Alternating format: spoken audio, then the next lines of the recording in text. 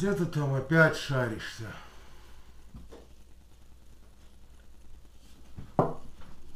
Здорово. Опять Здорово, опаздываешь.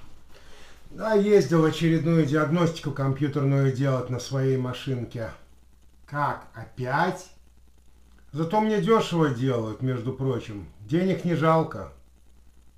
Дешевле, чем тебе раза в два, наверное. Ну и толку тебе от дешевой диагностики. Уже пол машины поменял. А толку все никакого нету результата. Смысл вообще в этом всем? Так лучше я дешевле заплачу за диагностику. Зато мне все ошибки прочитают. Ну, чем недоволен-то вообще, не понимаю. Мои деньги как хочу, так Разве это диагностика ошибки читать? Нормальная диагностика это полная проверка показаний всех датчиков.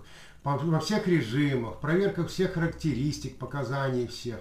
Ну а что тебе ошибки почитали и все? Ну это ж не диагностика.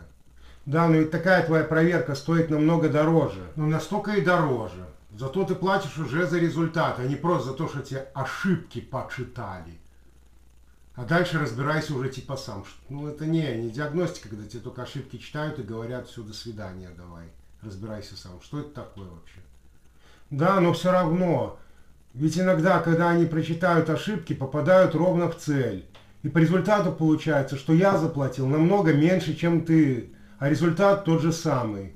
Как же, как же. Особенно после того, как ты поменяешь половину запчастей, половину датчиков, которых, может, и менять не надо было, если они были в порядке. Ошибка может по ним вылазить просто из-за того, что их когда-то снимали фишку в прошлом. Опять же, вытекающие ошибки. То есть, допустим, один датчик какой-то не работает или, допустим, клапан какой-то не открывает, а из-за этого датчик показывает неверные характеристики. Ну что это, ну...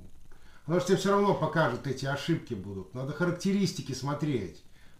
И заметь, что за эти все замененные детали, которые ты поменял, а, датчики, клапана, которые тебе приписали по ошибкам, судя, ты уже заплатишь свои деньги. Да, похоже, тебя не переубедить. Собственно, как и тебя, ибо скупой платит дважды, а балбес трижды. Давай спросим мнение у зрителей. А давай.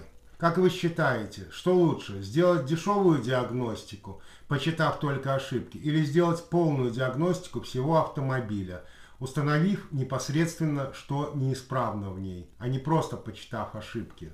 Спасибо, за просмотр. Подписывайтесь, на наш канал, ставьте, ставьте лайки, а, делайте репост этого видео. До, скорых встреч. Пока.